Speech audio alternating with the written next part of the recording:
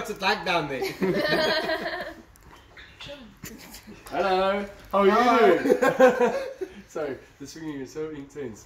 So we're gonna start ahead and swing into our deep spec. Yes, Ooh. big time. Can't wait for it. I need to get off and someone lie down.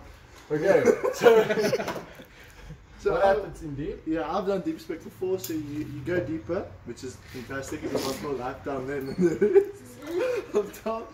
Actually, you to jullie it.